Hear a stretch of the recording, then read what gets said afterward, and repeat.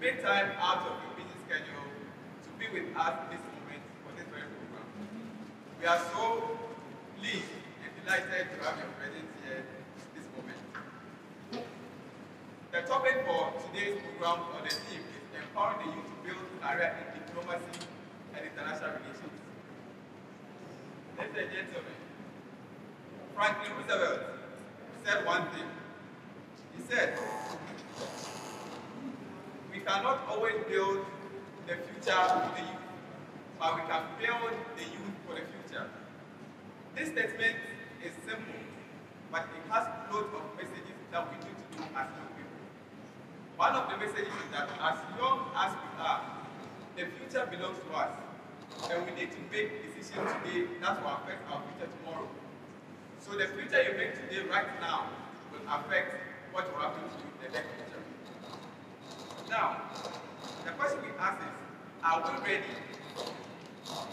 Are we ready to take the mantle? The older ones are there. They've already taken the place. We are looking up to them as young fellows. What are we going to do? Are we ready to take the baton? Are we ready to take the baton? This is what we are asking as young people. If you are here and your answer is yes, then probably you are welcome to YDCD, which our vision is to empower young people to build career in diplomacy and international relations, as we also prepare global giants for global assignments. I am very passionate. About diplomacy, youth, and community development. I have said this before, and I'll say it again.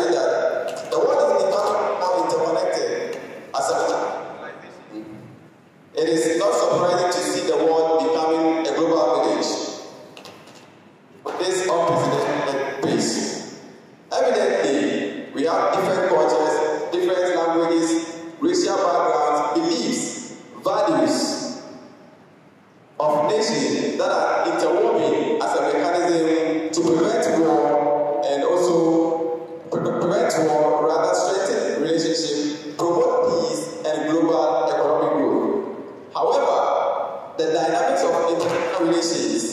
relations keeps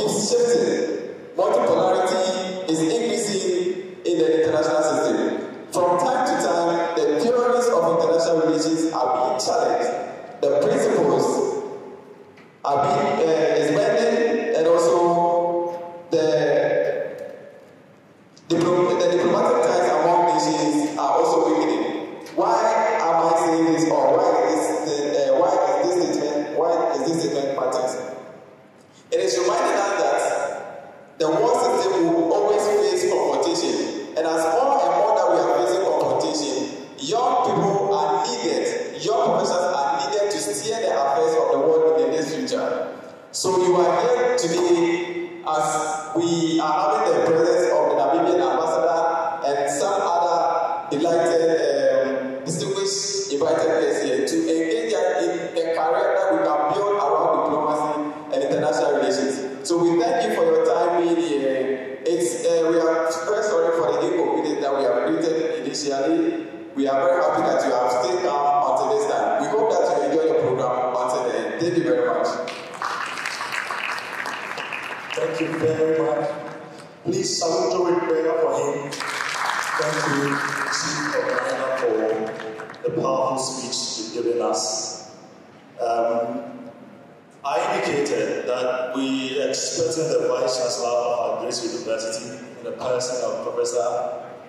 就是。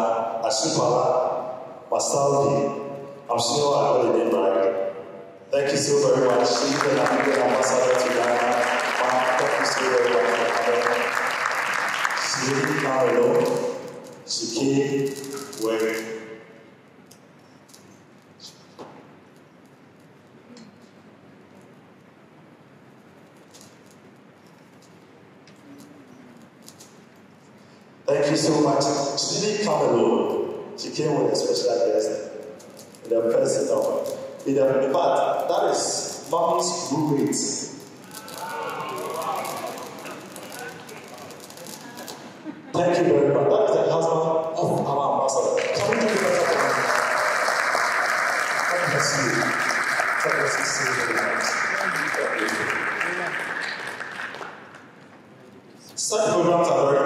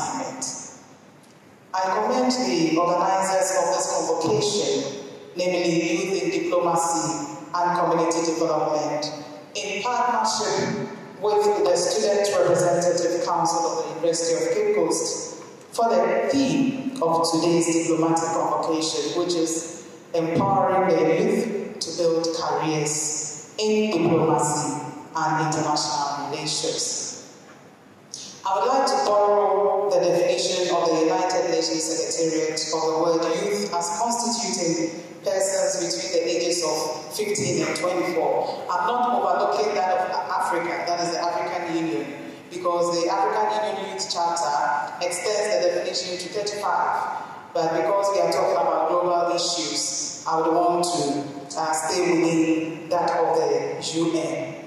So according to the United Nations Educational, Scientific and Cultural Organization, UNESCO, the world is currently hosting the largest generation of young people in history. Approximately 1.2 million people, and that 90% of the world's youth are living in developing countries. The youth constitute a vibrant and dynamic part of every population, and if well empowered, will expedite competitive transformation of societies and the attainment of the Sustainable Development Goals, that is SDGs, and the African Union's Agenda 2063. Unfortunately, today's youth grapple with unemployment, which is often traced to skills mismanagement, dwindling job opportunities, and limited access to resources. Hence, the need to empower them in these critical areas. School.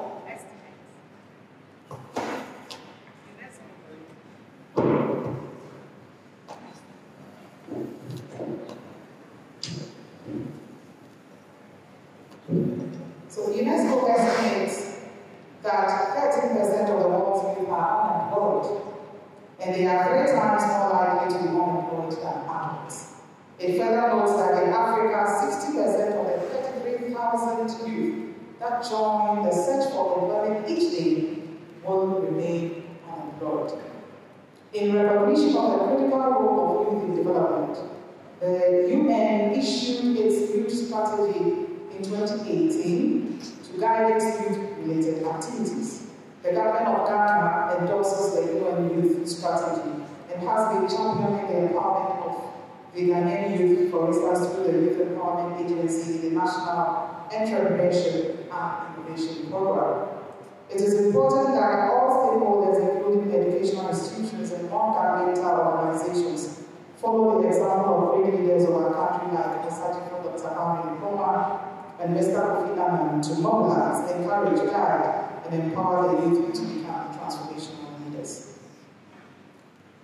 As the world draws closer to the year 2030, which is expected to mark the end of the Sustainable Development Goals, nations and societies confront a number of pertinent issues that necessitate the active involvement of the youth in diplomacy and international relations.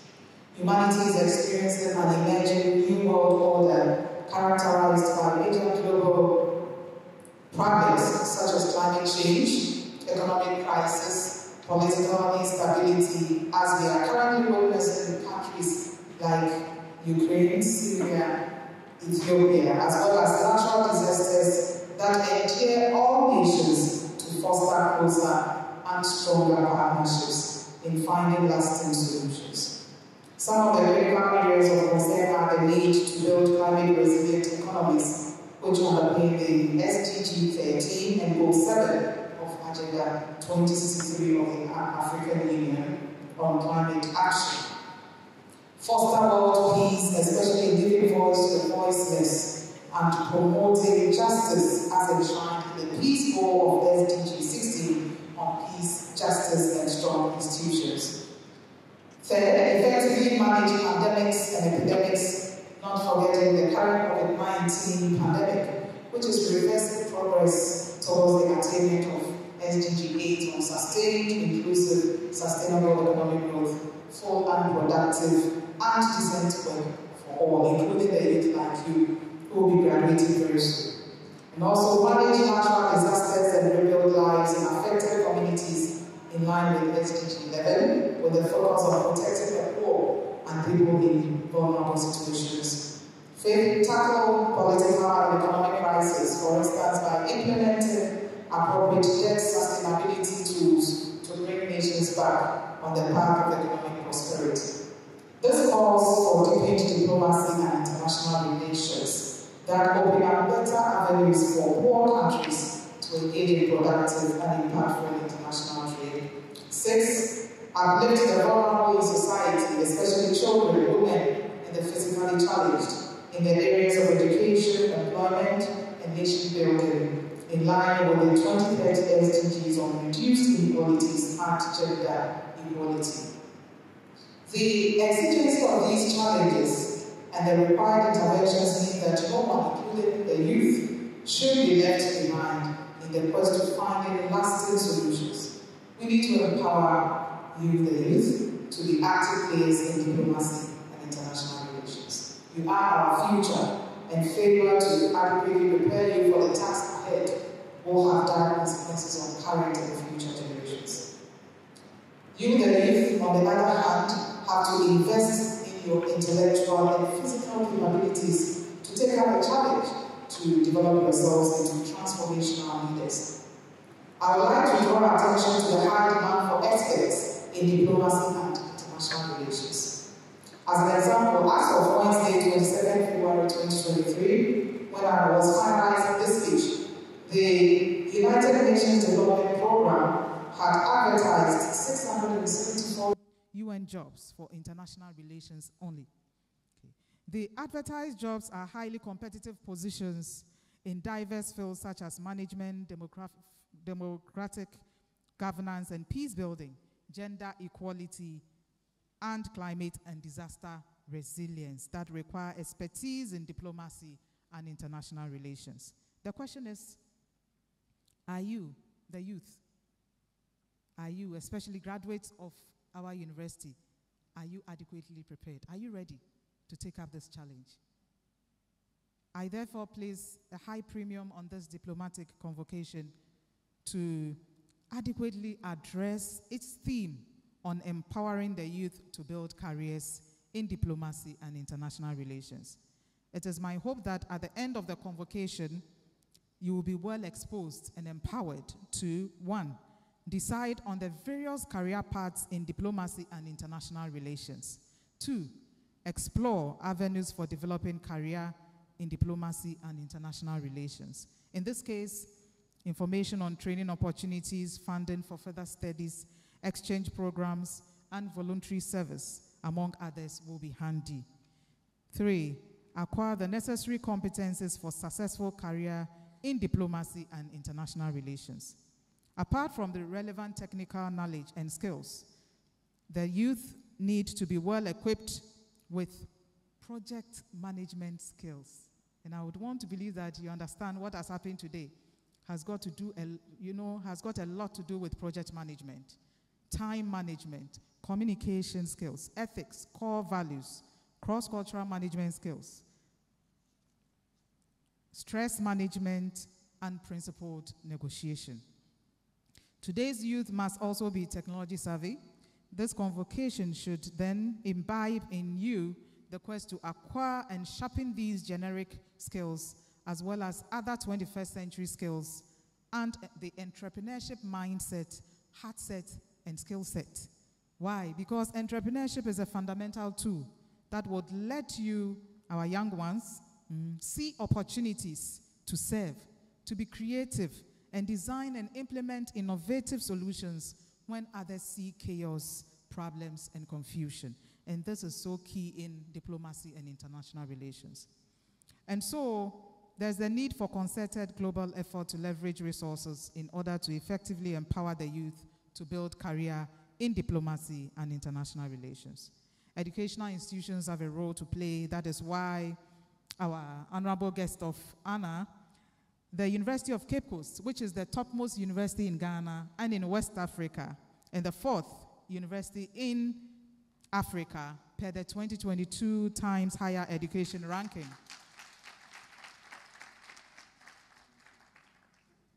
Is ready to partner stakeholders, including the various diplomatic missions, to develop the necessary manpower for the diplomatic and international relations sector.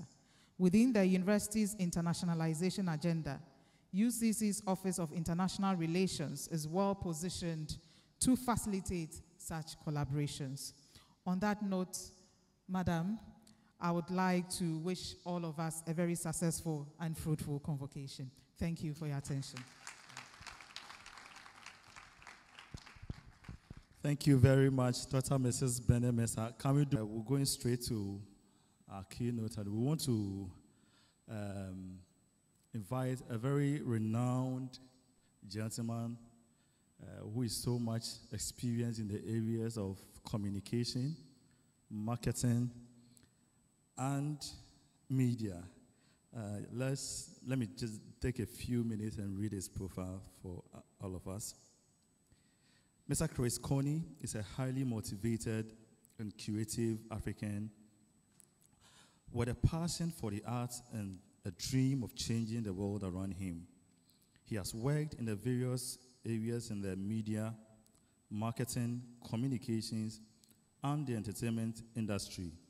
He holds a Master of Arts degree in public relations from the, in fact, the best media and communication school in Ghana.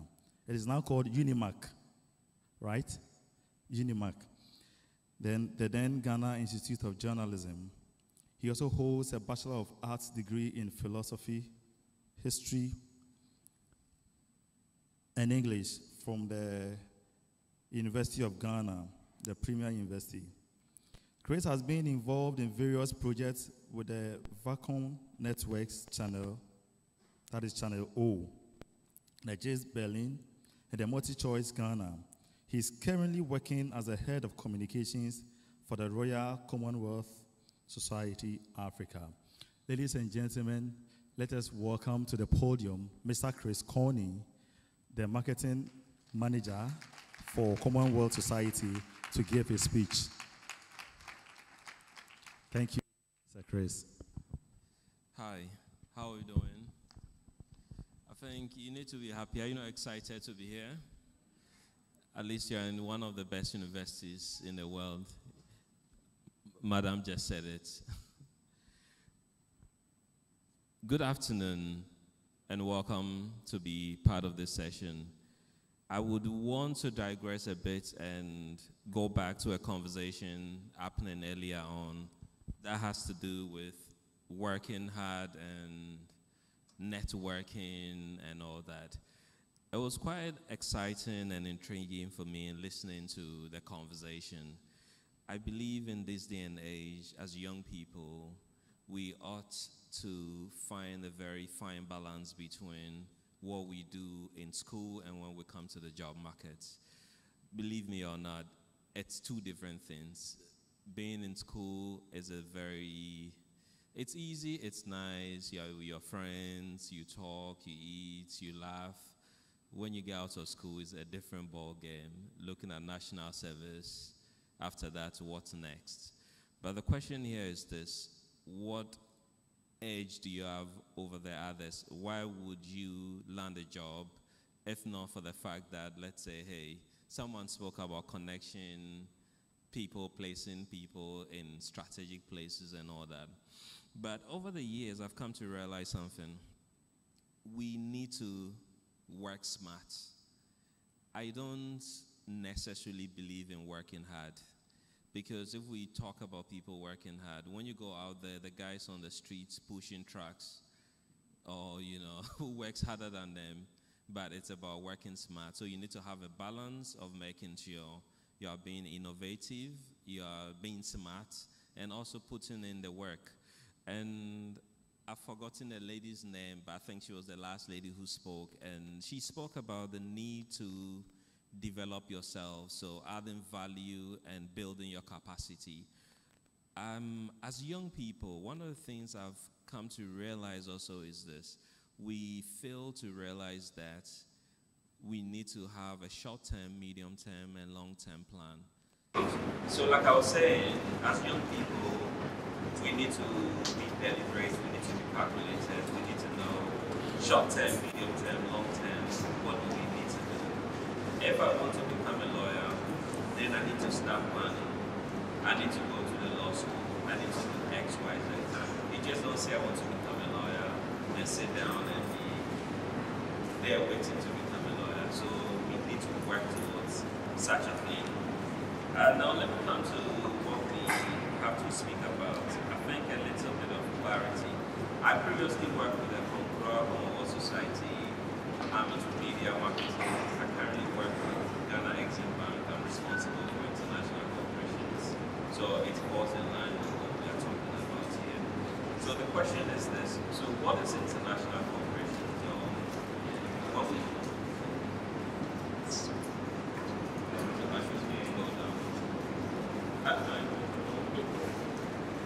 I'm told I need to get closer.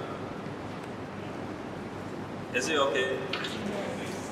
So I was saying, when we talk about international corporations, what are we talking about? Anyone want to give me something? What, what do you think international corporations is about? Or international relations, let's say?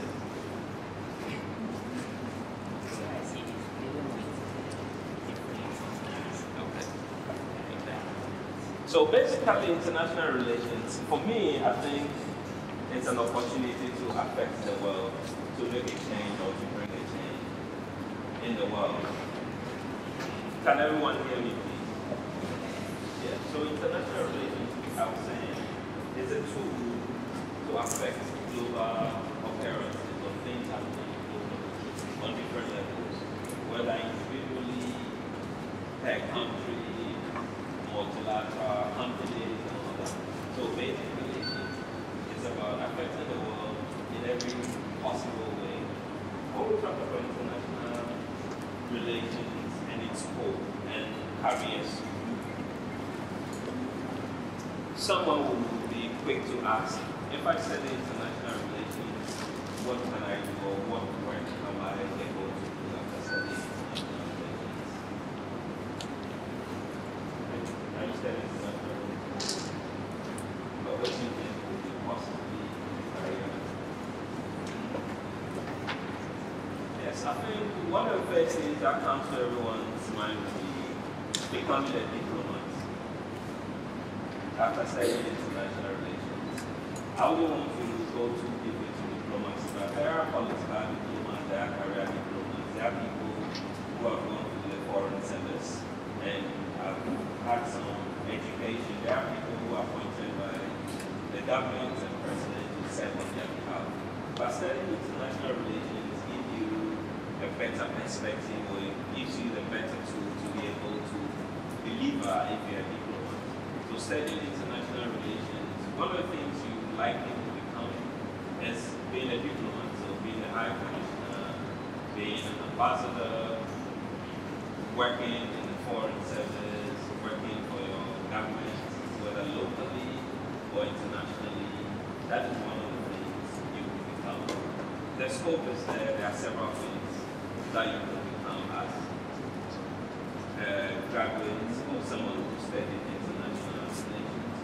Another opportunity for you uh, as someone who studied international relations is to become an intelligence officer. So let's give a clear example. Most companies or most institutions have intelligence gathering and often are not they require people beyond the borders of the country or environments which they are having an idea of what the game is internationally. Puts you in a better position to be able to function as an intelligence officer. So one of the opportunities available to you as a student or someone who studies or who studied international relations is to be able to become an intelligence officer in any organization, institution, and all that. Any ideas? What do you think? you can come into international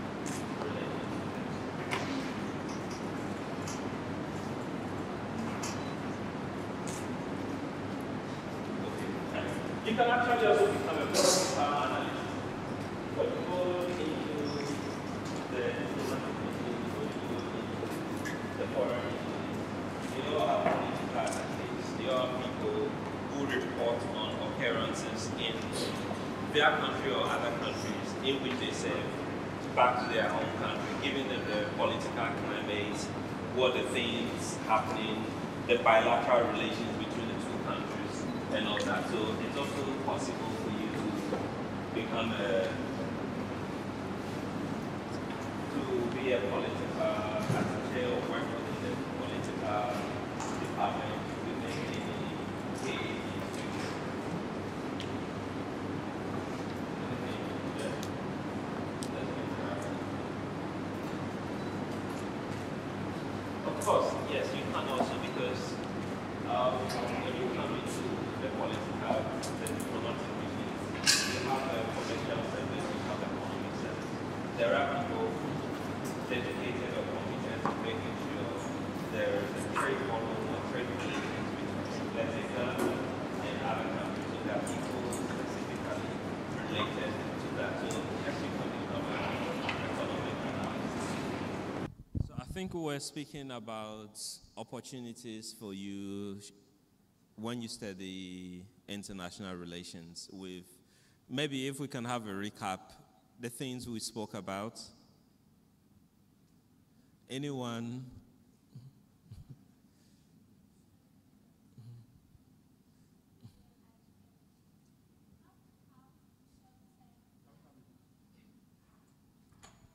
If she can get a mic please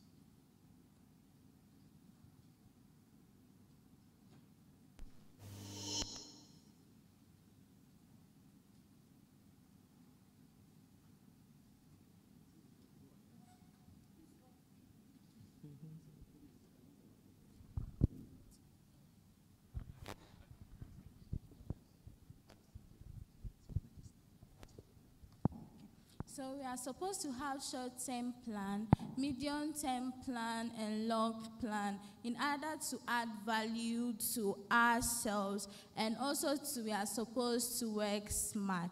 Yes, that's what I heard.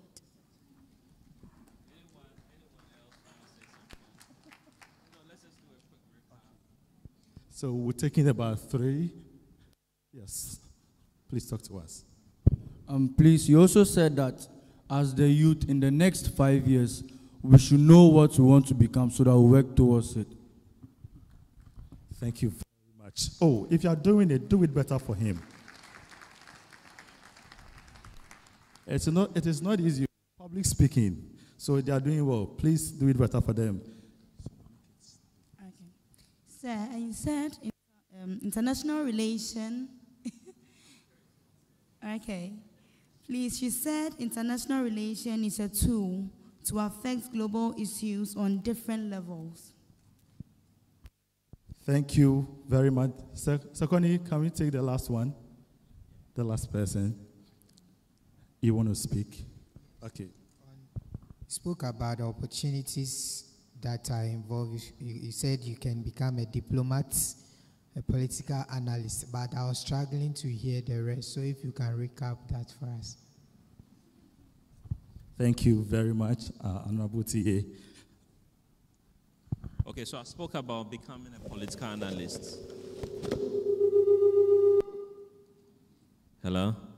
Yeah, so I spoke about becoming a political analyst, your ability or the um, opportunity that you get to be able to explain political climate on your part. So basically, that's one thing you can become. And like I mentioned, when you go to diplomatic missions and as part of bilateral relations, there are people responsible for economic and commercial relations. So these are all opportunities that are available to people who should study international relations.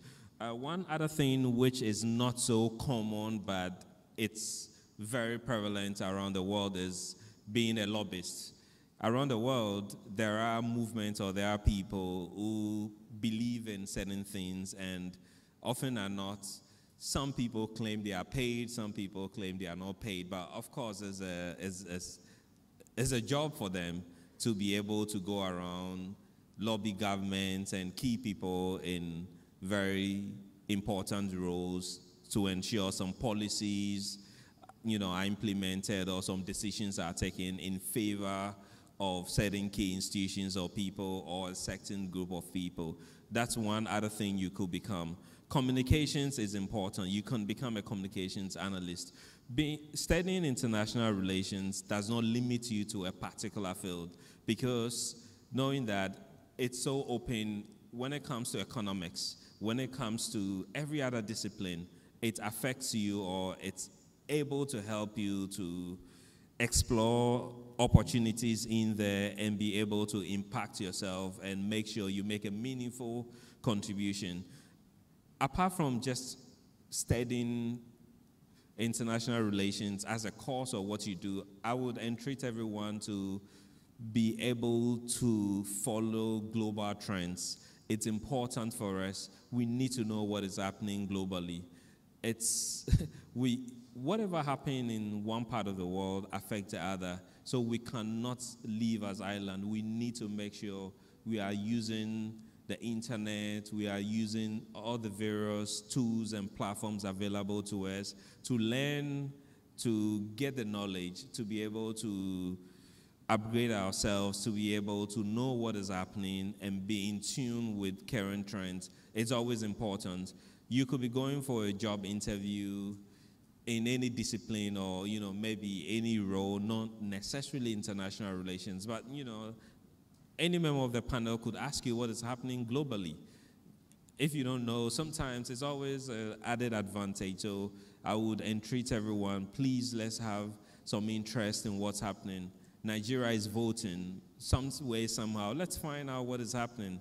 They are neighbors. If anything bad happens in nigeria it affects us as well you know, you get Nigerians coming here, they might become refugees. I'm not saying something bad is going to happen, but it's always important to be sure that you know what is happening. You are in tune globally and know all the current trends. So please, let's upgrade ourselves. Let's use our phones, the internet. Let's make very good use of it. Yes, we can do all the TikTok and all the social media and everything, but let's make sure you know, we use it to advance our cause in every way possible. Thank you very much, and I thank you all for the opportunity. Yeah. Thank you very much, Mr. Chris Koney. Um, he said a lot, and I have taken key note to the things he said. Um, initially, I didn't have any interest in um, international relations and diplomacy, but from today, I'd want to pursue a program in international relations. Uh, you don't agree with me on that? Sure, you should. After all, I am going to pay the fees myself, or you're going to, you're going to help me. Once again, let's do it better for him. Thank you so much.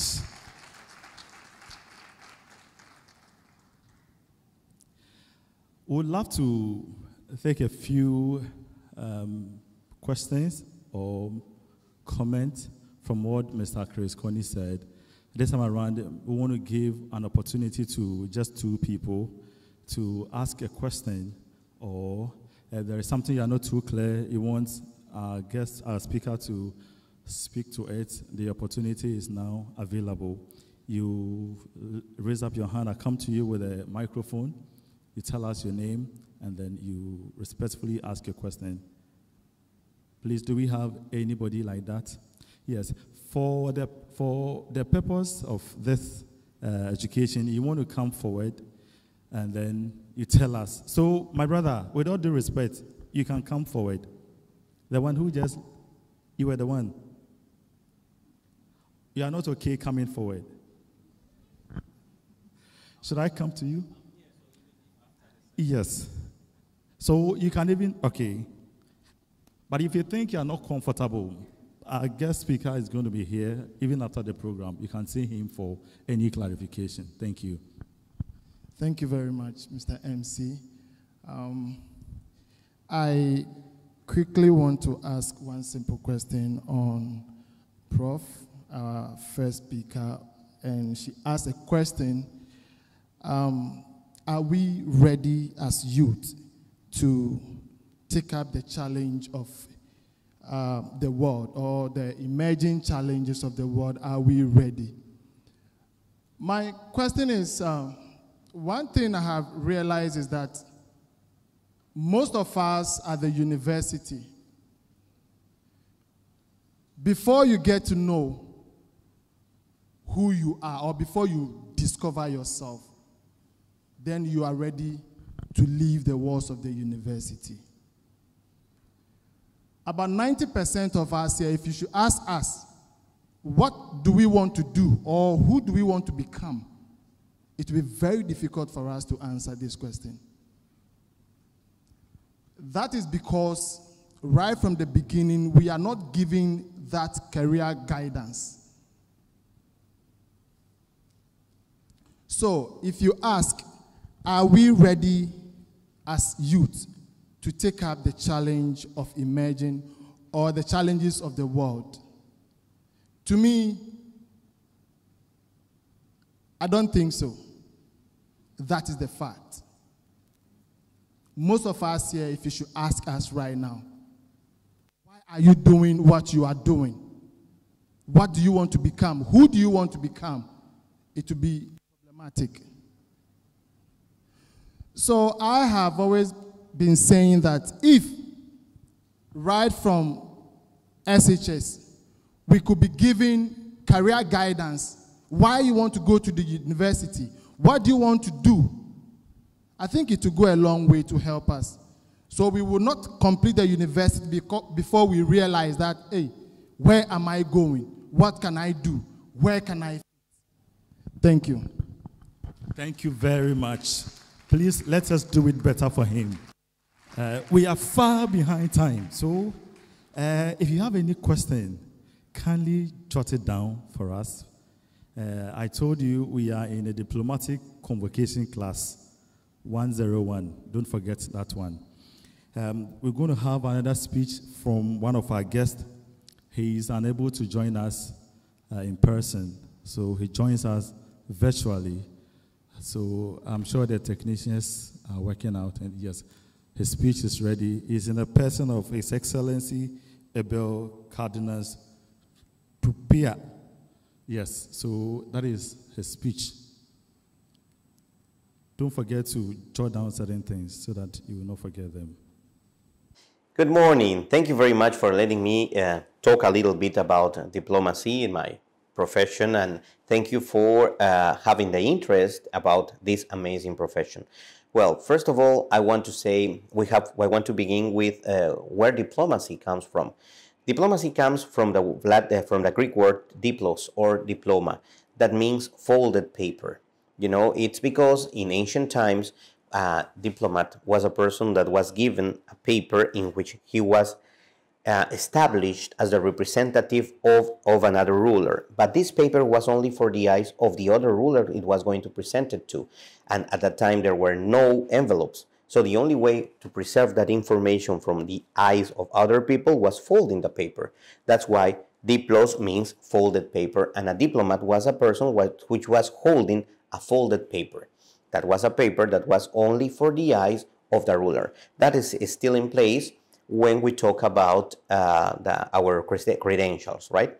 Now, what does a diplomat do in general?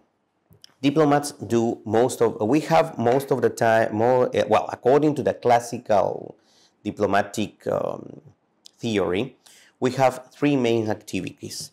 Diplomats represent, negotiate, and inform. We represent our states, not just our government. This is something important. Why? Because we diplomats have to represent a whole country. And as you know, countries are more than just one, right? I mean, more than just one ethnia or more than just one culture sometimes, right? An example is very simple for you to see here in Ghana, the different tribes that are inside Ghana. All of you are, all of you are Ghanaians, but you have Ashantis, Ewe's, Fanchis, etc., etc., right? So the same thing happens in Peru. We have different, different regions, different kind of people in every region, and a diplomat must represent all that. In order to represent the whole country, it is very important for a diplomat to know his own country. Otherwise, he's not going to know exactly what he's representing. That's the first thing. The second is negotiate. We need to negotiate, of course, agreements, and we'll have to negotiate also uh, treaties, international treaties. However, it's not the only thing. Negotiation is a permanent process because we are negotiating all the time the, the main um, and permanent interests of our countries, right? For example, security, we have to negotiate that. We need to negotiate the security of our populations, not just in terms of avoiding conflict, but also in terms of development. For example, the security they have what, what they are going to eat tomorrow, the security they have that they are going to have a roof under above their heads tomorrow. So those things are very important. And how do we how we diplomats contribute to this security? Through the negotiation. We negotiate through helping in inter, uh, regarding international uh, cooperation, for example. We also help when we talk about trade, commerce, financing, and many other ways, right? So we diplomats are there negotiating all the time. That's a permanent thing. And the last one is inform, to inform. That's the last activity we do. What do we inform? We, we inform everything that happens in the country we are, um, we are working in, right? For example, in this case, Ghana, because my country needs information in order to take good decisions, right?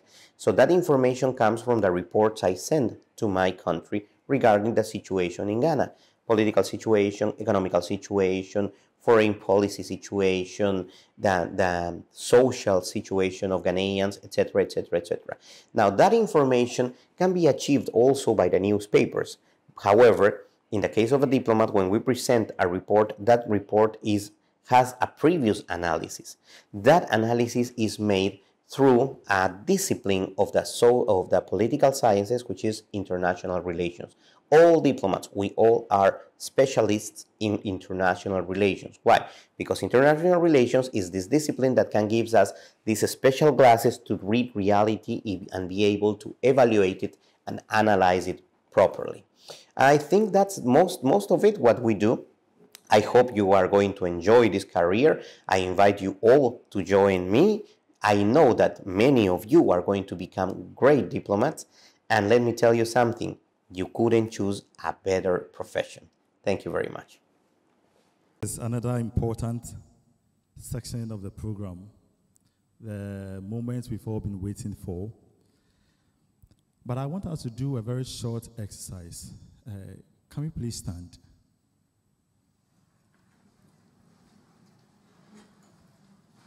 Can we stretch a bit? I'm sure some of you, it's been long since you visited the gym. So you want to stretch a bit. You want to make sure you want to release some stress. And then, um, before the guest speaker comes, would love to sing or recite the Namibian anthem. Yes. Oh, don't worry. We sang the Ghana anthem, right? And we did it better. This is a diplomatic convocation class. So you should be able to do everything. And I mean anything. So we'll do it. With the help of our technicians, uh, I'm sure the sound is ready. Uh, we'll do that, and then we'll invite our guest speaker to the podium. We'll sing along, oh, so be ready.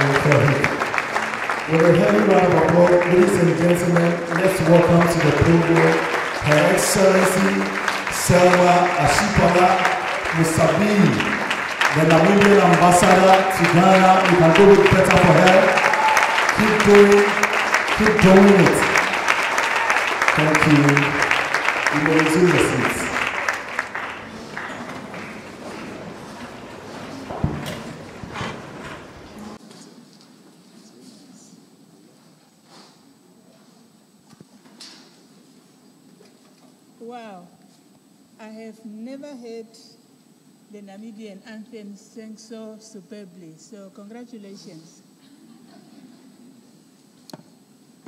Members of the podium, distinguished students, ladies and gentlemen, good afternoon.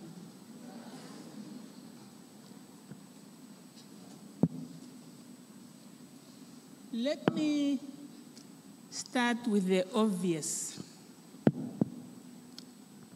I am an African. I love African food. You will never find me dressed in European attire. I am a fan of African movies, especially Nollywood and Gollywood.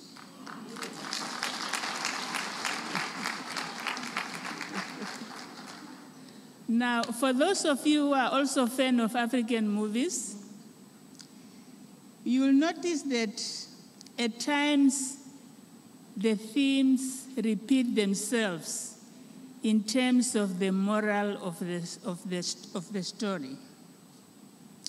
Now, if it's a movie about a bride or a groom to be, the line will go like this Mom or Dad, when did you know that he or she was the one?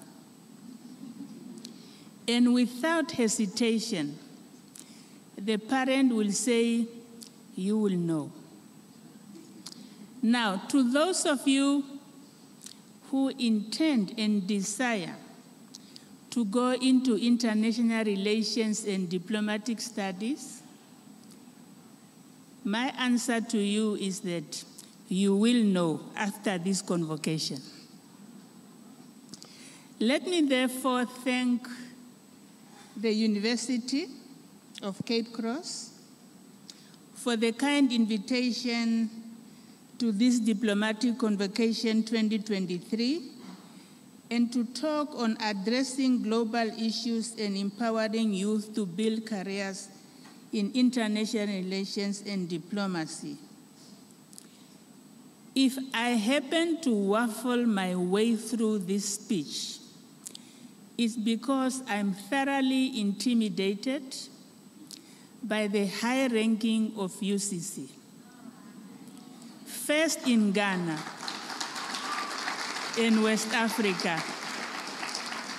fourth in Africa. Congratulations and keep it up.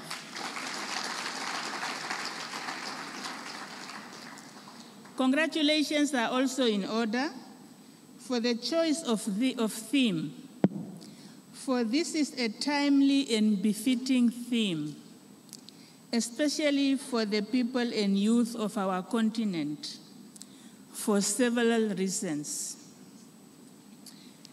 I had my desk full and I actually have events in Accra, but I chose to come in person because I'm an African and it is you, the African youth, who will catapult Africa to greater heights.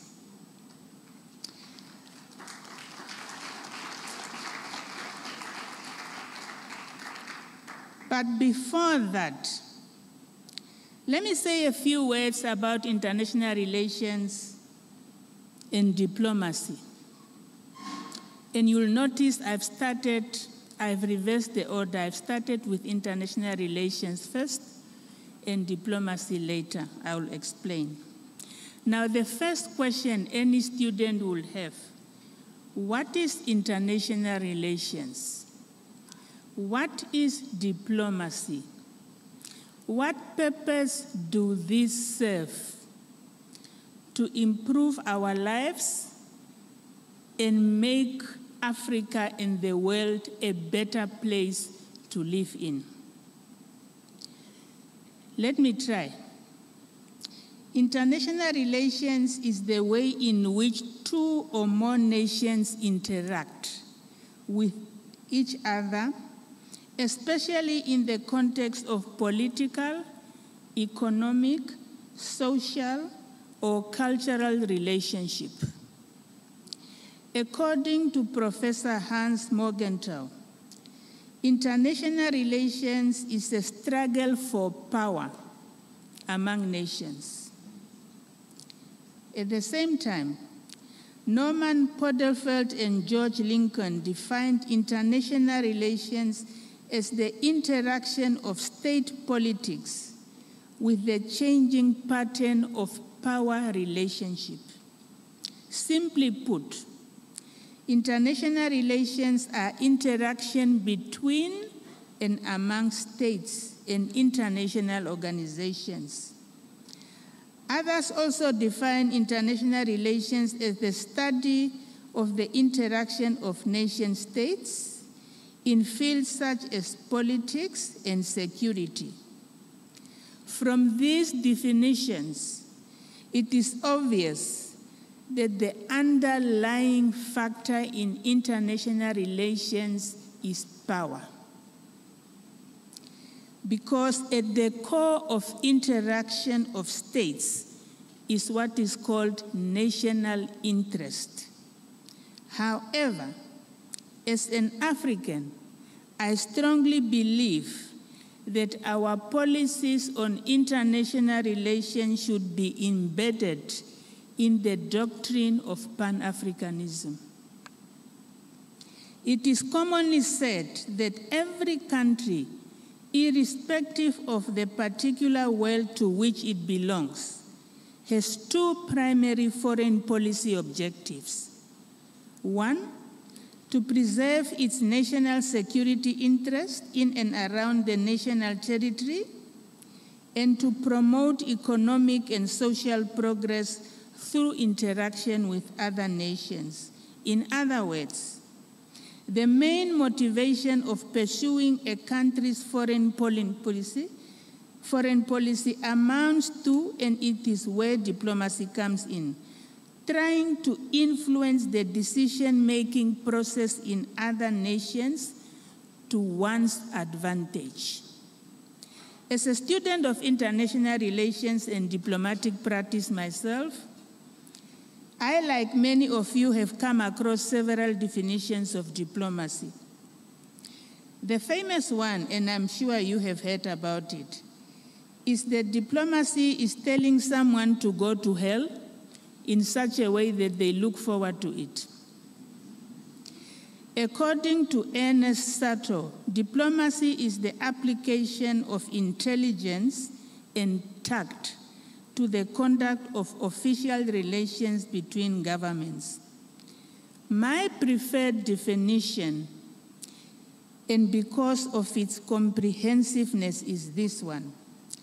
Diplomacy is the established method by which states articulate their foreign policy objectives and coordinate their efforts to influence the decisions and behavior of other governments, multilateral organizations, through dialogue, negotiations, and other measures short of violence. Diplomacy is thus the practice of handling affairs without provoking conflict or the use of force, with the purpose of achieving global peace. In other words, it's the art of being assertive without being aggressive, the power of persuasion and, and therefore, when diplomacy fails, countries go to war. And when wars fail and reach a stalemate, countries go back to the negotiating table, to diplomacy. There are three main forms of diplomacy public diplomacy, economic diplomacy, and cultural diplomacy. As aspiring students of international relations, it's important to know that states are adversarial because more often their national interests compete. Hence, we need mechanism to maintain order in their interaction. In the context of international system, therefore, International relations is about the what. What states and mainly multilateral organizations do on the global arena, while diplomacy is about the how. How states interact with each other. Anyone who wishes to become an effective diplomat should understand this difference. Because if you don't, it will be like watching a soccer match, concentrating on the players and not watching the ball, and then you get confused. Let me explain why I believe that the theme of this convocation is befitting and timely. We live in a troubled world characterized by global insecurity and global north-south inequality, threatening international peace and security. Almost in every part of the world today, there are pockets of tension or actual conflict. The ongoing conflict in Ukraine is impacting global security and at the same time dismantling the disarmament architecture multilateralism is being tested like never before. On the African continent, we have witnessed unconstitutional change of government in some countries, while terrorism is gaining ground. The advancement of the women, peace, and security agenda is slowing down. Gender equality is sliding backwards, and women's lives and their personal security are being threatened. Developing countries, including Africa, are getting hit from all sides. Some 94 countries, home to 1.6 billion, many in Africa, face a perfect storm. economic and social fallout from the COVID 19 pandemic, soaring food and energy prices, crushing debt burdens, spiraling inflation, and a lack of access to finance. In the area of environment, global warming is increasing, causing environmental havoc, including land degradation. In the words of the UN Secretary General Antonio Guterres, and I quote, the climate crisis is a case study in moral and economic injustice. The G20 countries emit 80% of all greenhouse gas emissions, but the poorest and most vulnerable, those who contribute least to this crisis, are bearing its most brutal impact. Because of our decisions, sustainable development everywhere is at risk. The Sustainable Development Goals are issuing an SOS, unquote. Surely, this is not the world envisaged by the Sustainable Development Goals, but this is the world we live in in which you, Africa's hope, has to grapple with. Notwithstanding all these challenges, notwithstanding all these challenges present opportunities for the African continent. For example, COVID-19 has reaffirmed the importance of self-reliance, be it in the area of services, food, transportation, energy, manufacturing, etc. The COVID pandemic has proven that Africa must continue to earnestly work and lessen her dependence on the outside world by adding value to our primary commodities and create value chains for economic growth. In this respect, we have the opportunity through the African Free Trade Area to maximize intra-African trade and boost economic recovery and sustainable development. In other words, we have a golden opportunity to begin to consume what we produce. As an African diplomat, therefore, the theme of the convocation speaks to Africa's political, economic, social, and cultural realities. Africa has gone through two phases of struggle political struggle or the decolonization phase and the economic struggle, which we are currently grappling with. When the founders of the Organization of African Unity established the continental organizations, they negotiated. It was not easy if you read history. There were differing views, and it took tact to cajole others to see the perspective of Dr. Kwame Nkrumah of Ghana, Haile Selassie of Ethiopia, Abdul Nasser of Egypt, Sekou Toure of Guinea-Conakry, Julius Nyerere of Tanzania, and many others. Furthermore, it's important to understand that just because we are part of the comity of nations, it does not mean that at the global level we are equal. It is an ongoing struggle. And given that we are at different levels of development, we have different capacities, capacities to influence decisions at the global level. For example, at the UN, Africa is excluded from the category of permanent members of the UN Security Council. Yet, more than 80% of its agenda concerns Africa. On the economic front, as someone so aptly put it, we in Africa do not control our economies. We contribute to our economies, and it is high time that we change that pattern.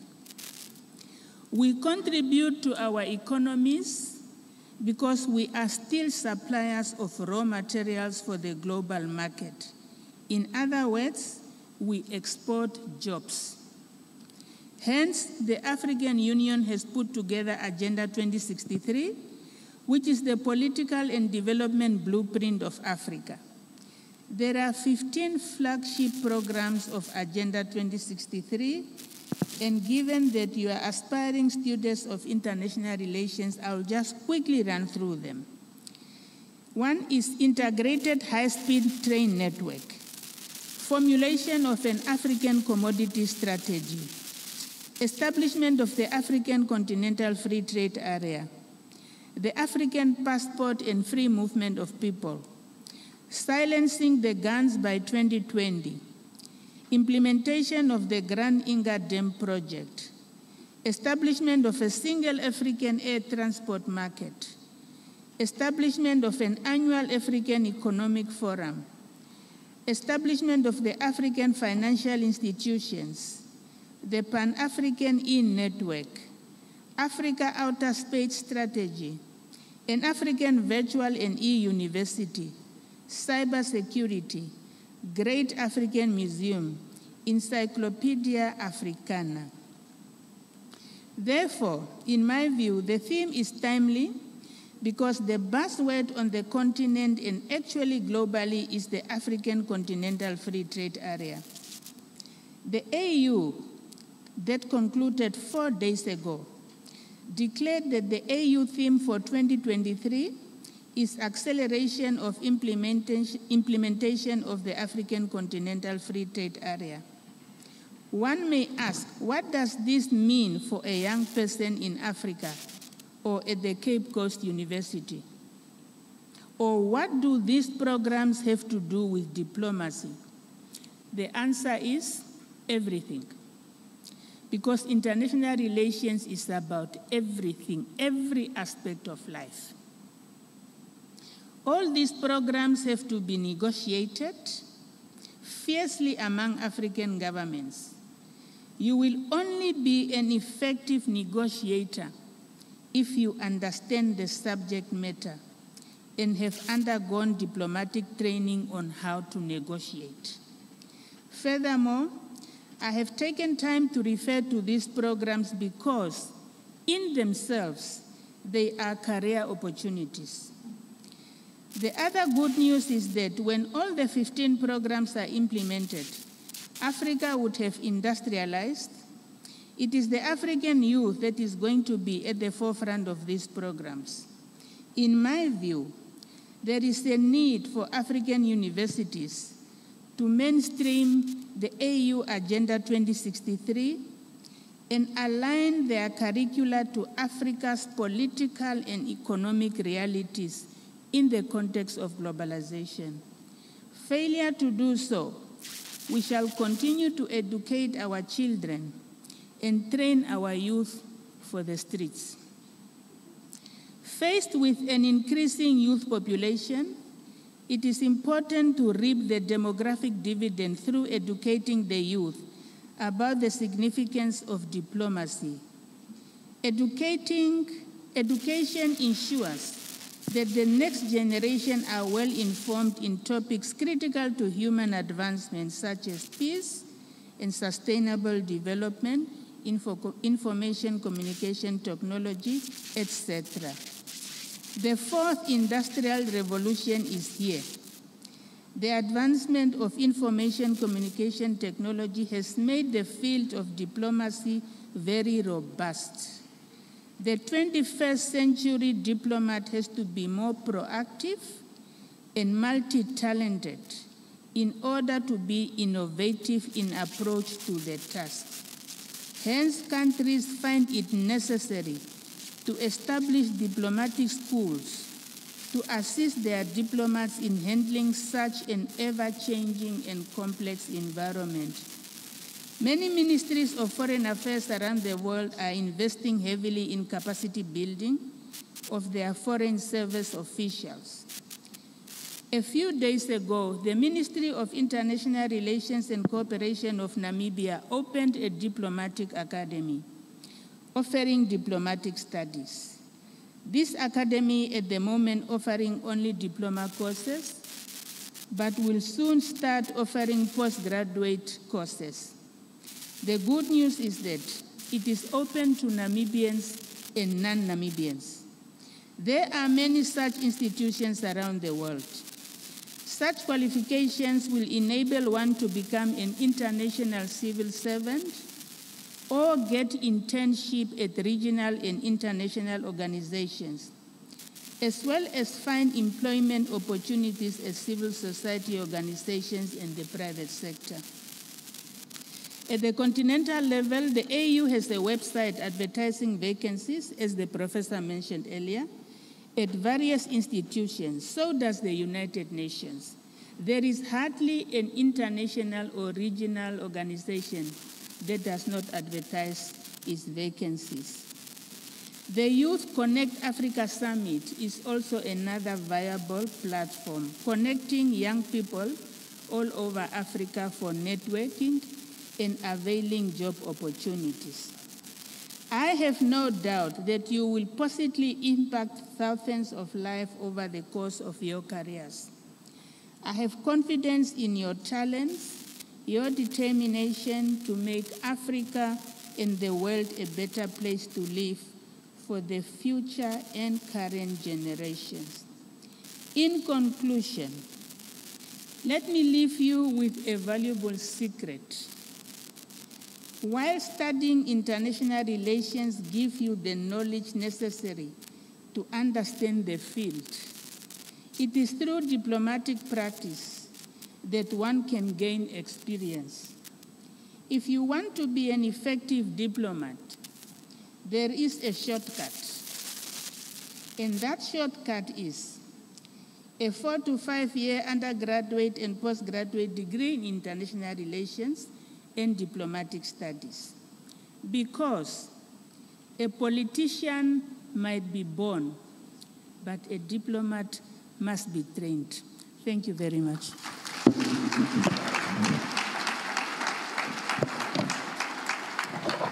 Thank you very much, Your Excellency. Please, you can do it better for her. I think she deserves a resounding applause.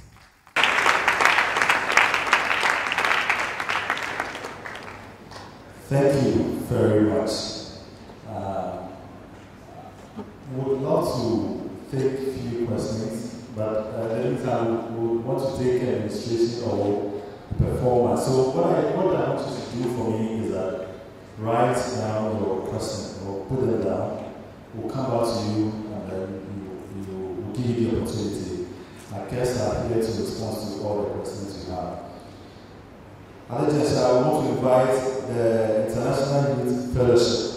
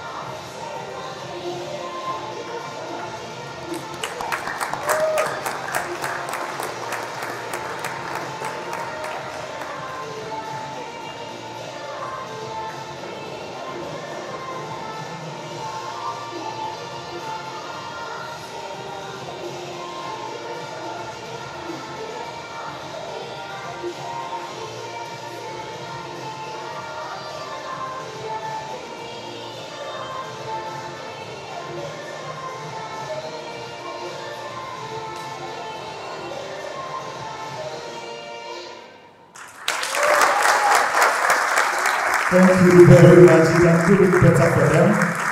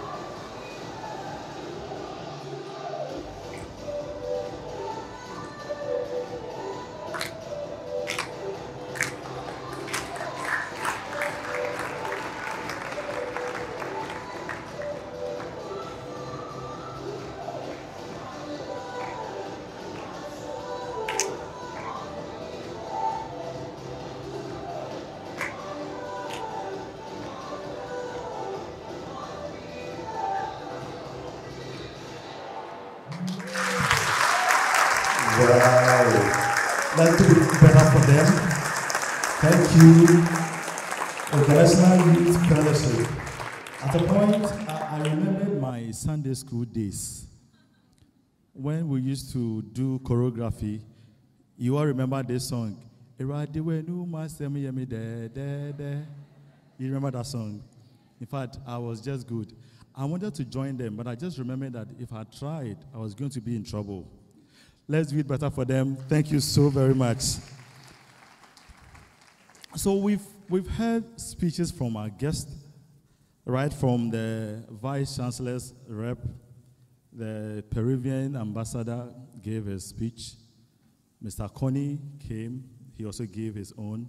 The Namibian ambassador, Her Excellency, has also given her speech.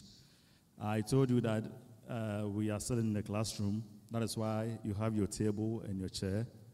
We have our course rep, our TAs are here, our lecturers are also here. I am just the, who am I? I am just the facilitator.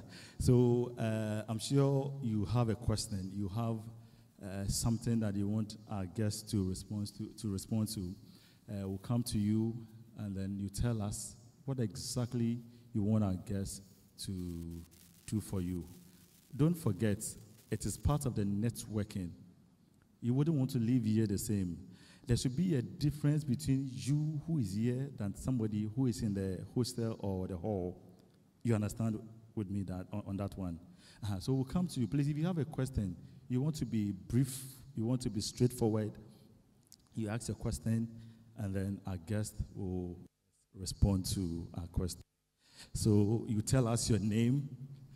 Um, if you uh, you want to give us your marital status, you tell us, and then I told you somebody will get his future wife here. I told you earlier. Uh-huh. So please tell us your name. My name is Samuel Nani. I have my bachelor's degree in African Studies and MPhil in International Studies. I just want to make a comment on um, what the main speaker said at the beginning of her speech. She said she loved African cuisines and African movies. And when she was speaking, she also talked about cultural diplomacy. Uh, because that is my area of study and research, I would like to make this comment uh, to all of us. Let us take it that once we continue to consume foreign cuisines, the pizza, the KFC, let us know that we are being dominated. I'm not saying don't eat pizza, don't eat KFC, but let us also learn how to eat and promote our African foods because it is one way we can also influence the rest of the world. The Italians have done it, Americans are doing it, Peru is doing it. If you go to Asia, people are traveling to Thailand just to go and eat. We can also do same. Let us learn to eat our foods and promote them. Thank you. Thank you very much. Uh, somebody said he traveled to China just because he wants to eat frog. Hmm. So we'll take just five questions at a go. Our guests will respond to them, and then we'll take the next set. Yes, please. Okay, thank you very much. My name is Josephine Abuaji. Um, when Her Excellency was speaking, she spoke about COVID. So I want to ask um, how COVID has impacted the conduct of diplomacy. And then, two, I would like, since um, we are in the digital world, I'd like to know how um, the digital media or diplomats are embracing um, technology now in their conduct in diplomacy. Thank you very much. My name is Salom Dube. I'm an international studies student. Um, when Her Excellency was speaking, she mentioned the Agenda 2063. Um, I would like to know, as a diplomat or as a, an ambassador to Ghana, what are some of the challenges that African countries are facing in trying to achieve the Agenda 2063? And then my second question is in relation to um, Josephine's own. The second question is to um, Her Excellency, um, possibly directly. Um, please, are you on social media? And then how is social media helping you in your day-to-day activities as a diplomat? Thank you. Thank you very much. Let's pick the last two questions and then uh, our guests will respond to them. You see the way the questions are flowing, you just go straight forward and then you ask your question. Thank you. Um, I am Noble, reading Bachelor of Education Arts here. How I want to read international relations. How do I go about that? Thank you. Our guest will respond to that. Probably the last person. Okay. Um, let me give the opportunity to Alhaji. Alhaji, please talk to us. Thank you very much. So, my first question supposed to uh, ask the Vice Chancellor, but since he wasn't around, I will take the opportunity to ask our uh, senior lecturer that will serve as an intermediate. Maybe who send it to the Vice Chancellor. Please, Madam. Please, Madam, uh, is there any plan uh, to introduce a bachelor degree in international relations?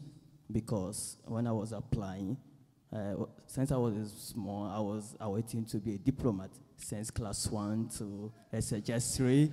So I can't wait for a master level to further in international relations. I want to study international relations now.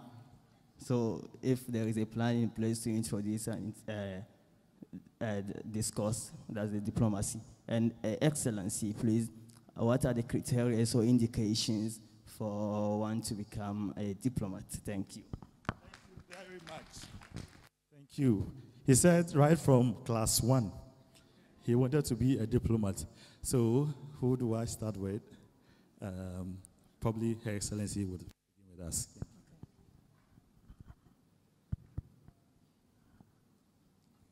Okay. Um, how COVID has impacted the conduct of diplomacy greatly. I mean, I think for two years, first of all, the General Assembly sessions moved from New York into our own offices. It was all virtual. It was all virtual. Nobody was traveling, nobody was attending meetings. And my daughter once said, I mean, if you can have meetings at home, why do you travel? And my answer to her was, it makes a difference when diplomats have eye contacts. When I negotiate with you, I don't just listen to what you are saying, I look at your body language. I use all kinds of intimidation the way I look at you because my objective is to get an upper hand. So it's never the same when you have virtual. However, at the moment, I think what diplomats are doing is to have hybrid sessions where you have, you know, where you come together uh, at the same venue and while others may contribute uh, virtually. But I tell you, technology can never replace human to human contact. And um, in terms of the challenges in uh, achieving Agenda 2063, was that the question? I think this is a challenge that perhaps affect all African countries. There's a gap between what heads of state and ministers discuss and what the public perceive. I'm sure even in West, in Central Region, there might be people who have not heard about Agenda 2063. So the challenge for us is to bring the information to people because these are programs that are supposed to improve livelihoods of people. How will that happen when they don't know that these programs exist? So we need to bring information to people, women in the rural areas, the private sector, the students, for them to understand that there are platforms that are available to make life better. Then uh, there was a question on, on social media, uh, how it's helping me or diplomats. Uh, that is an indispensable tool.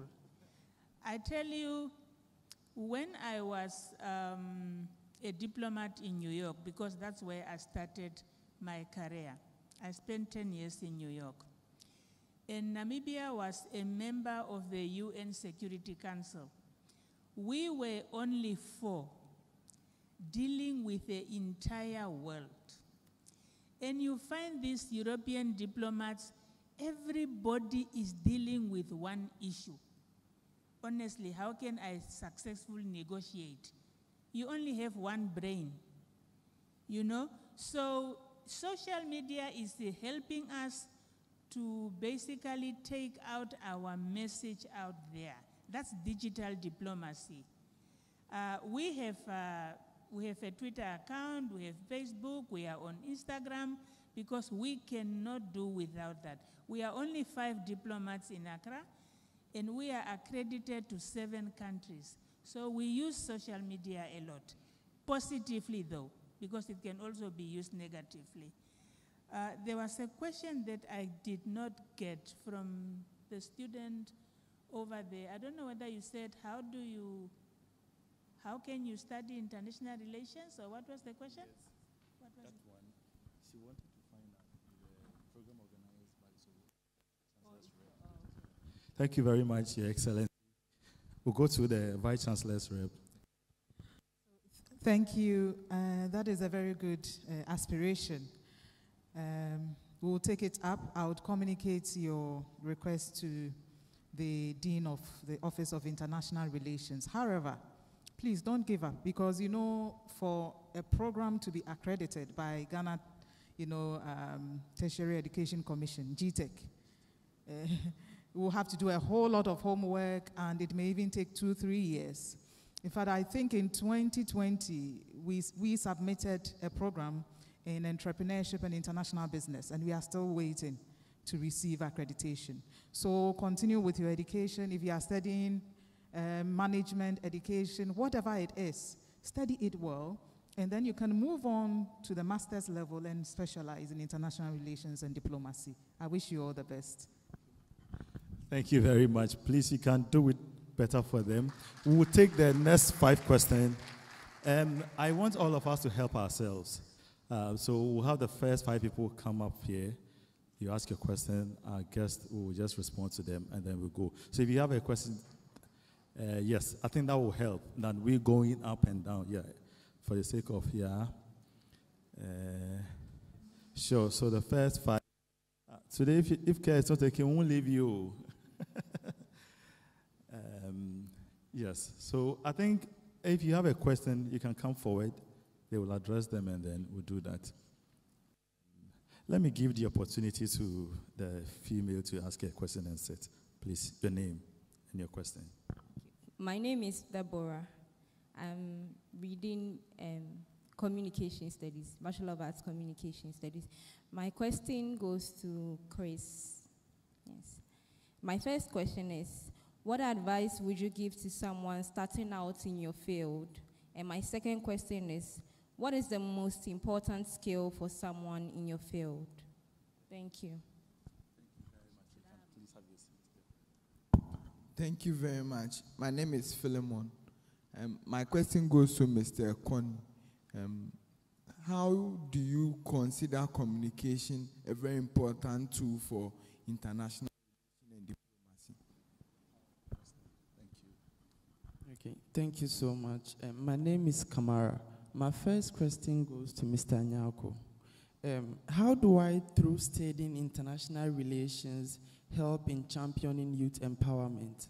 And then my other question goes to Her Excellency. It's an honor to be under the same roof with you. My question is the forms of diplomacy. Um, you stated public diplomacy, economic diplomacy, and then cultural diplomacy. If you could please give us a little elaborations on this, what they are. And my last question goes to Her Excellency as well. It has to do with the diplomatic ties that um, Ghana has with Namibia. How does it benefit the people of Ghana? And then, as a student as I am, if I want to study in Namibia or as a Ghanaian citizen, what is the process? Is it a smooth one or a rough one? Thank you. Um, my name is Godfrey Siama, and my question goes to Your Excellency. How does the Russian Ukraine war affect the diplomacy of the United States? Because it being um, a diplomatic organization which deals international relationship, if Russia can just stand up and then get into war with Ukraine, how diplomatic is the UN and how would they solve that matter? So we'll take the last question and then the, I guess we'll respond to them. Thank you. Your Excellency, Africa has the same set of problems from corruption, poverty, political instability, down to, you know, environmental issues. And we have diplomats and high commissioners all over and across Africa and beyond. They've been there for decades. Why do we still have these problems in Africa? Thank you. Thank you. So kindly bear with us as the guests go through the answers for us. Um, Mr. Koney, would you want to start this time around? Okay. Okay, so I think the first question was how do you consider con- how do you consider communication in international relations? was that a question? Okay. So, of course, communication is very important in every aspect of your life. Once you are able to put across what you want to say, communication is said to have happened when your message see when your message gets to the recipients and is able to decode and understand. So, whether you like it or not, communication is important. Speaking the international language, if people don't understand what you're saying, then I don't see how you're able to put across your ideas and your thoughts. So, communication is very important. Uh, second, someone asked about the skills needed for communications. So you need to be a people's person. And one of the things I've come to realize also, uh, people within Ghana or PR practitioners within Ghana often are not, we are limited to English. We live in a place or on a continent where we are we have neighbors, francophone speaking countries and all that. It's important to at least learn one language, if not for anything at all. I would suggest to you to say, hey, try and learn French. It's going to be important and it opens you up for a lot of opportunities beyond the shores and borders of Ghana.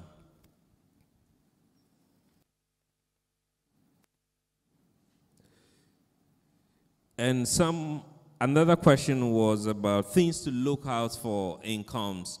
So basically, what are you supposed to do as a communications person? I think you need to understand from the get go. You need to know the ethics and what you need in communications. I think that's going to be the guiding principle and going to help you in your career. So, as a communications person, what is expected of you? What are your deliverables? You need to understand that is how you are able to deliver on the job assigned to you.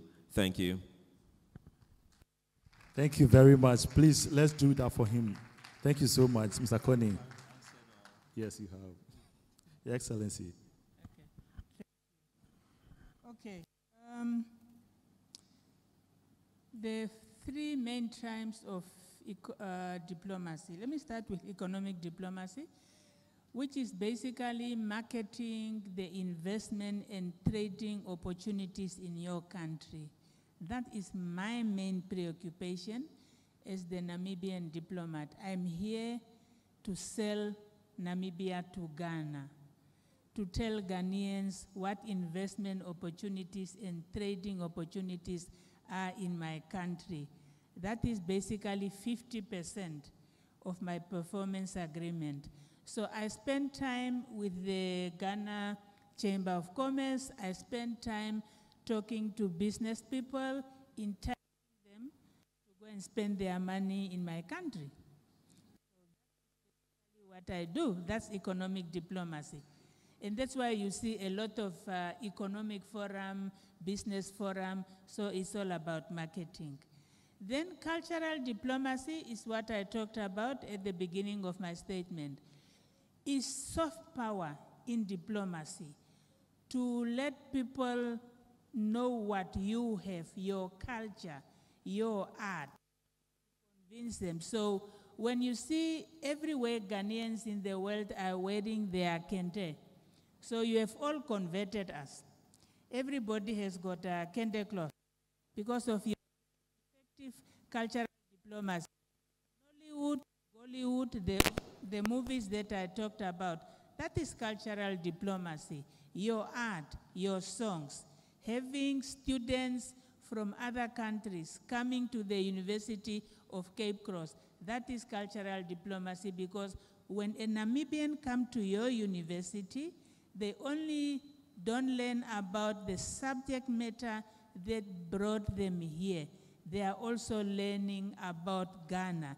And whenever they found themselves, they'll have good to say, good things to say about your country. Public diplomacy is basically having to do with the media. If you follow Namibia's mission in Accra, at least once in two months, I'll be on television, I'll be giving interviews, marketing my country. That is public diplomacy. But all of them are interconnected, and the line between them is very blurred. Then, um, if, if a Ghanaians want to go to Namibia, I always say that I think Namibia has most, the most liberal visa system. Uh, it will take you a day to get your visa. If you want to come and study in Namibia, you come to the Namibian High Commission, you give us proof that this institution has accepted you, and we will give you a visa. So it's very, very seamless, and you are all invited, especially to apply to go to the Namibian Diplomatic Academy. Russia, Ukraine. I was hoping I won't get that question. First of all, every country has its own national interest. Just as Ukraine has friends, Russia also has friends on this continent. Don't forget, during the decolonization era, it was Russia that was on our side. Now, the UN is completely divided about these conflicts because as diplomats, we go into details of the causes of war. And these details you may not always hear. Whether the UN is the right place to resolve this conflict at the moment, I don't think so. But we are hopeful that eventually the diplomats from Russia, from Ukraine, and from the NATO countries will come back to the table because the last thing that we need is a nuclear war breaking out. So that is all I can say. It's good that you are following that conflict because it has global ramifications. And if it is not treated carefully, all of us are going to be victims. The only thing I don't, I don't like to talk about is when Africans are saying the war has impacted on the flow of grain and fertilizers to the African continent. We are 1 billion people on the African continent. Should we really be fed by a country that has 48 million? So maybe it's good, on the other hand, that there's a conflict there so that we can come to realization that we have to feed ourselves. That was a by the way comment. Then African challenges, my brother. I am not freelancing. I am representing the views of my government. Corruption, which is bad governance, is everywhere. Now, that does not mean that we have to accommodate it.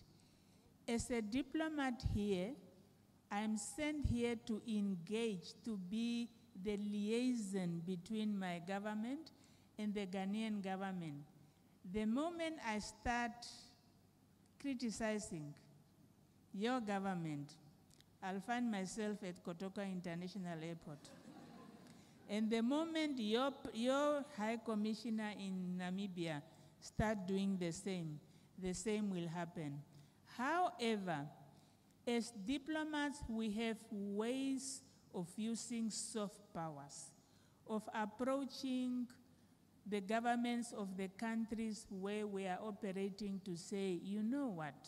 And that's where diplomacy come in. You don't go to a country and say, you are corrupt. You are doing this. It's not good. You say, for example, you know what, in Namibia, this is how we go about this. Maybe we need an agreement of cooperation in this field, but you know that you want to help that country. So our powers are really limited. We can only advocate for good governance, but in terms of effecting it, we are limited. I don't know whether I've answered your questions. And then there was, um, oh, I think that was this. Thank you. Please do it better for her. Uh, we want to take our last set of questions. I believe you're okay, so we'll just take the last four. Let me give the opportunity to the lady, and then uh, she asks, please ask a question for us. So please, I am Elizabeth. I, okay, I am Elizabeth. Okay, so my question is, you said Africans are contributors of their economy rather than being control of their economy. So I want to ask, how did we become contributors and how best are we willing to be in control of our economy and the involvement of the youth? Thank you. Thank you very much. Um, thank you. Um, my name is Akumbuni Nashio, and you've almost touched uh, uh, just part of what I wanted to ask, but I still want to know the opportunities available in Namibia for youth precisely in Ghana. And also the same applies to the, um, the ambassador for Peru to Ghana. I don't know how I'm, no, I'm going to get the response to that, but I believe uh, Okay, thank you very much um, for the opportunity. My name is Festus Kobnenu, um, Master of Philosophy, Religion and Human Values student. Now, you spoke about African understanding their culture. Now, I want to know, how do we think we have failed as a continent to instill the act of knowing our identity from the Western world? Two, during your time as a diplomat throughout your area of specialization, what has been the challenge you've had as a diplomat and how did you resolve that challenge? Now, I believe that you have contact with other diplomats outside Ghana and other countries. Now, would you comment, since we are now waiting for most of our institutions to start getting the accreditation for our programs, would you recommend some online institutions where we can start online programs on diplomacy and international relations? Thank you. Thank you very much. So, I'm Emmanuel, um, studying Bachelor of Arts in Social Sciences. I want to ask about the inclusion of youth. I was following uh, Sharm 2037 agenda.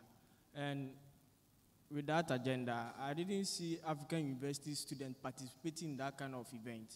Is it because the African universities doesn't have uh, funding or uh, financial incentives to participate or travel to uh, uh visit those kind of uh, event to get exposed and learn so many things about it? Thank you. Please come, please come. Prof, please, was the question clear? Because uh, I was struggling to. So please just go, go straight forward. Uh, so about uh, my question, I was saying I was following Sharm el Sheikh uh, Agenda 2037 uh, in Sharm el in Egypt. Uh, I didn't see African university students participating in that kind of event where it was only high-ranking presidents and minister of state and other dignitaries if we are talking about the inclusion of the youth, how is it that we are not, I mean, participating in that kind of event and we too are also saying we should include the youth into this kind of event and activities. Thank you. So we'll take the very last question and then they will respond. Thank you very much. My name is Senor Yivugan. So the question is, can, can you hear now? Um, in your presentation, you mentioned that in the core of African or international relations, Africa should embed the spirit of Pan Africanism in international relations affairs. Yesterday at a, at a symposium, um, I learned how people who tend to advocate for Pan Africanism tend to be like shaded or become a threat to the Western world because it puts them in a disadvantage of flourishing. What efforts have been made to make this possible, having inter international relations um, using Pan Africanism? What efforts have been made to make that possible? That's one. And how has it proved to work over the period? And how are we also, as youth, going to um, apply this in our lives to make this um, dream possible? Thank you very much. Thank you very much. Um, I guess we'll respond to the question, but surely this program is being organized by the Youth in Diplomacy and Community Development and the GracedLife TV in connection with the UCC SRC. I have the SRC PRO here with us. Mr. PRO, thank you so much for coming. So our guest uh, would shortly respond to the questions they first. Thank you. Okay, first question on Africans being contributors and not in control of our economy. We have most of the world's natural and mineral resources. There's no doubt about that. It's proven. However, we do not add value to our resources. We export primary commodities. And that's what I mean by being contributors. We are not in charge.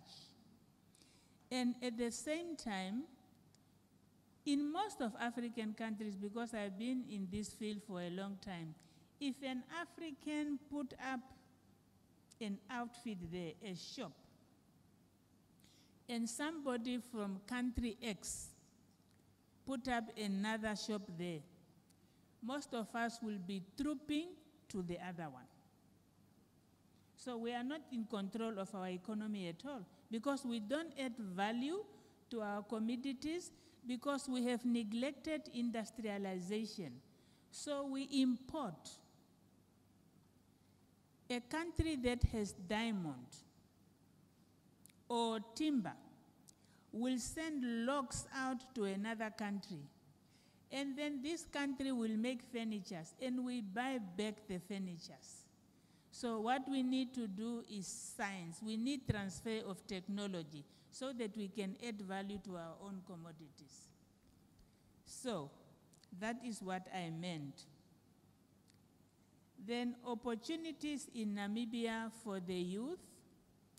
There are opportunities in IT, opportunities in media, opportunities in fashion. In fact, there are a lot of Ghanaians in Namibia. Don't forget that before Namibia gained independence, our youth came to Ghana to prepare for higher studies everywhere in Europe and elsewhere. Our first judge of the High Court came from Ghana. So if you come to Namibia, you will feel at home. And that's why in Namibia we have a law that whenever we sing the Namibian national anthem, it has to be preceded by the AU anthem. We don't sing our anthem alone. We always singing together with the African Union anthem because for us, we are African first and Namibian second. So look at the various media outfits in Namibia and see where you can get opportunities. There are also opportunities at the university. We've got about five lecturers at the University of Namibia. There are, there are opportunities in the mining sector. We've got a very advanced mining industry in Namibia. How to install our identity? Well, was that the question? How, how to instill our African identity? Was that the question? O- okay. You know, cultural diplomacy is soft power, but it has a purpose. I think as Africans, we have to see ourselves as African. We have to, to have a new mindset to understand that one country alone cannot develop this continent. All of us have to come together. And that's why your first president, Kwame Nkrumah, said it so correctly that the independence of Ghana will be meaningless if the rest of Africa is not free. So we should think and be proud of ourselves. We should be proud of what we produce. We should be proud of what we have. We should consider ourselves as equals to others. No one should speak on our behalf. We must have our own narrative. And this is why I actually like African movies, because they have changed the narrative on how Africa is perceived. Those are really the cultural ambassadors of, uh, of our continent. So it starts with you, how you view yourselves. The challenges of a diplomat, I think when you choose a career, it has to be informed. Your choice must be informed by service. You must decide that I want to follow this career because I want to serve. Not only yourself, others as well.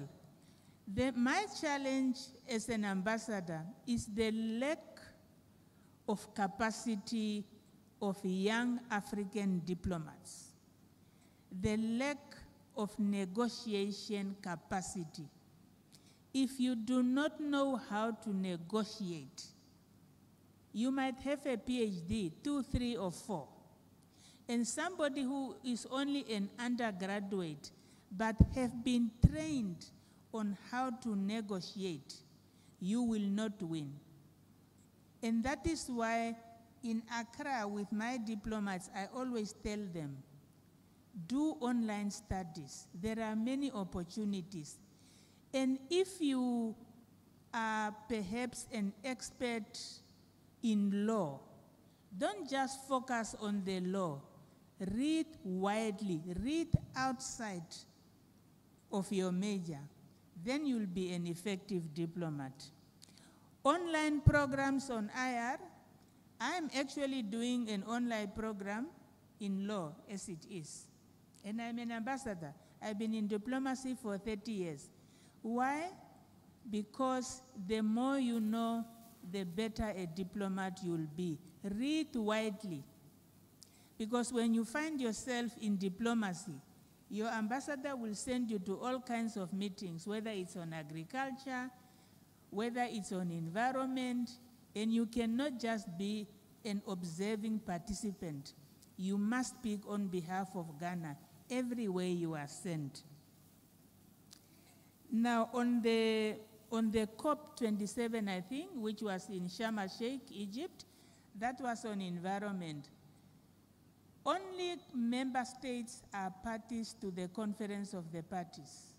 You can only participate if you are part of the Ghanaian delegation. A university such as this one can perhaps ask your Ministry of Foreign Affairs and Regional Integration and say, there is a conference of the parties in this country. Can we be included to have a side event? And maybe you, you exhibit a technology or something that is of value. But otherwise, as an individual, it's very important, it's very difficult to attend conference of the parties. Or you can go as part of uh, non-governmental organizations because NGOs are very active in environmental issues. So if you are interested in environmental issues, because environment is becoming a very important pillar of international relations, there are four conventions of the UN related to environment. And those, in, those conventions also have opportunities for young people. So that is another area that you should uh, start looking at. Pan Africanism. You know, Pan Africanism is an ideology.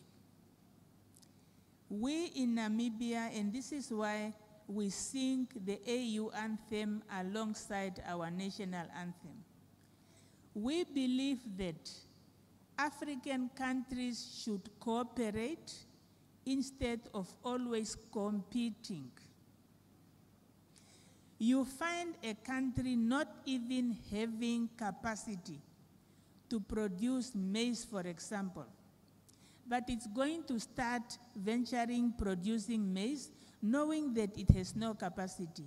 So we need to come together as Africans and say, what is our competitive advantage? We need to work together. Everywhere I go as a diplomat, I always talk about Africa. Because I don't want someone else to talk about my continent. I am an African. I know the challenges, I know the opportunities on this continent. And Africa is the new economic frontier. So we should not continue to create job opportunities for others.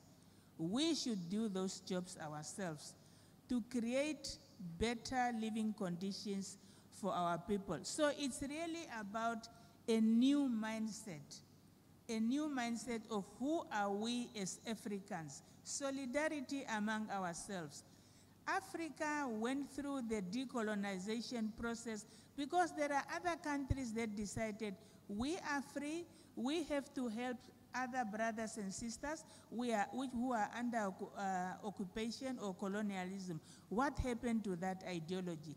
That is what we need to imbibe, to see ourselves as one person.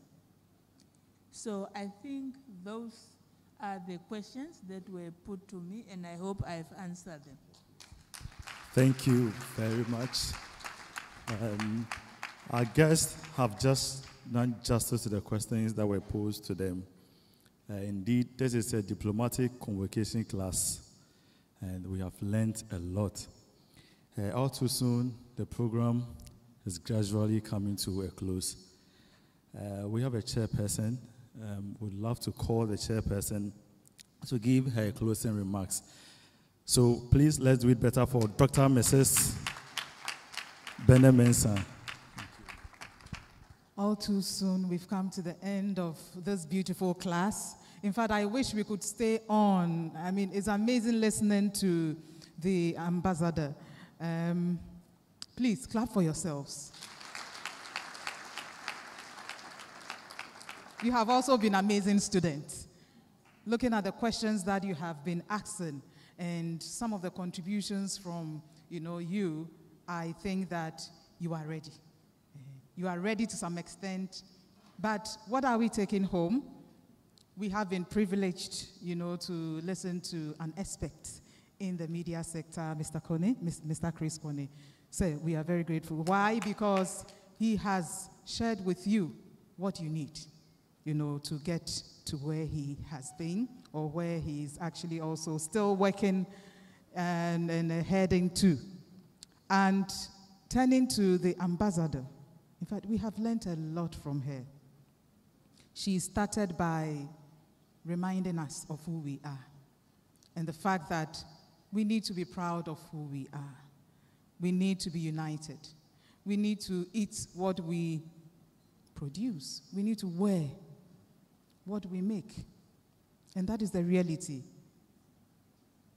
And so I would want to urge, especially the undergraduate students, those who are in level 300 and then below, because those below you would surely get to level 300 and take your entrepreneurship course serious, because that is it.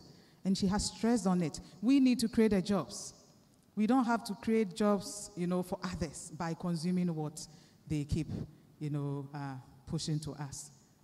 Let us think of our continent. She has exposed us to the various forms of diplomacy.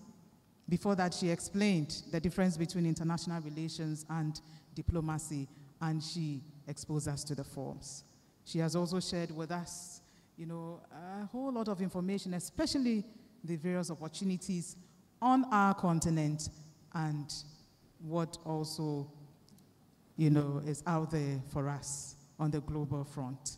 So on that note, um, I would want to hand over the mic to Mr. Asma, and once again, congratulations for organizing this important function. We hope to also uh, have subsequent um, convocations in future.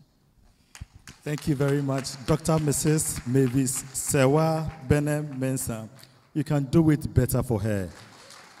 Uh, it is not every chairman or chairperson who sits throughout the program. Some of them, they come and then they do what? I don't want to say it. They run away, right? We are so much grateful. The rep of the Vice Chancellor. Um, don't be in a hurry to leave the auditorium. Uh, it is important for you to have a proof that you came for uh, diplomatic convocation 101. So the ambassador and the guests are here. We're going to have a picture with them, at least to, to, as a proof. Thank you so much. Um, I didn't hear how he mentioned my name, but because my name is not really familiar, whenever anyone asks my name, I tell them my name is Nana Kwame because um, my name is Vanessa. Whenever I tell people my name, they're like, huh? Like, Vanessa? No, no. So, like he said, my name is Vanessa Zeke Ade Ado. And please, before I proceed, um, I want to make a point to Her Excellency. So I'd like to call all the volunteers. Please, all the volunteers, kindly join me um, on my right hand. Please, let's all come. Ashes, publicity team, conveners, everybody. Please, let's clap for them. We did it with all of them. Please, we are waiting for you. Team members. Um, yes. They are the people coming. Yes. Oh, they are working diplomatically. Yes. right.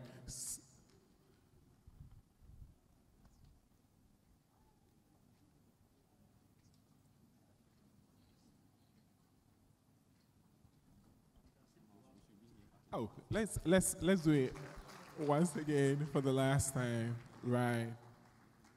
Right. So please, these wonderful ladies and gentlemen put this program together. And I'm so glad there are women in the team because the last time I met Her Excellency, we're having a conversation about UN Security Council 1325. And she was amazed. Um, I didn't have women on my team. So please, Your Excellency, there are women on the team now. So, right.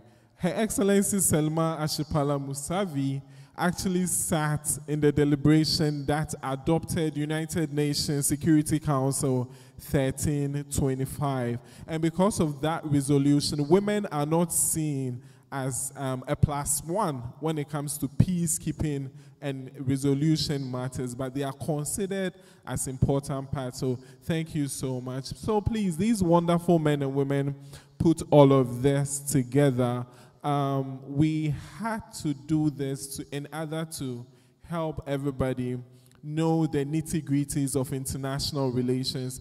As Dr. Benneh said, this wouldn't be the end of diplomatic conversation, um, convocation um, on UCC campus. We will continue. So please, we are taking a break for this session and not the end of DC 2023. We surely will organize once again. So this is um, a thank you from Youth and Community and Development, YDCD um, GracedLife TV, and UCC saying thank you. Thank you very much. Please, you may resume your seat. We are grateful. Oh, please intimidate them with your clap. Just intimidate them. Yes. Uh, I would love to borrow the words of Vanas. They are working diplomatically